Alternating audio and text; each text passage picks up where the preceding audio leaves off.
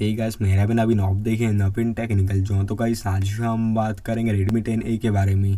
Guys आज का हमारा टॉपिक है how to enable front camera तो गाइस अगर आपके फ़ोन में फ्रंट कैमरा इनेबल नहीं है तो आप फ़ोन में फ्रंट कैमरा को इनेबल करना चाहते तो गाइस यह वीडियो को आखिरी तक देखिए एंड समझिए। एंड अभी तक आपने हमारे चैनल को सब्सक्राइब नहीं किया है तो प्लीज़ सब्सक्राइब कर लीजिएगा। तो आप अपने फ़ोन में देखिए कैमरा एप्लीकेशन को ओपन कर लीजिएगा। एंड यहाँ पे देखिए, अभी हमारे फ़ोन में फ्रंट कैमरा इनेबल है। अगर आपके फ़ोन में फ्रंट कैमरा इनेबल नहीं है तो आप अपने फ़ोन में देखिए कैमरा की सेटिंग्स में जाइएगा।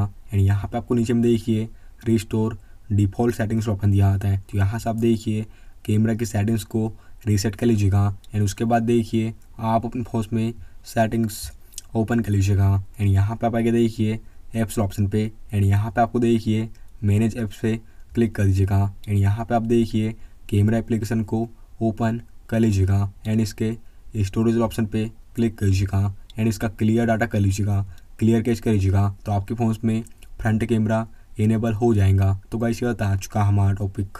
उम्मीद है आपको वीडियो पसंद होगी। आज के बस इतना ही। Thank you.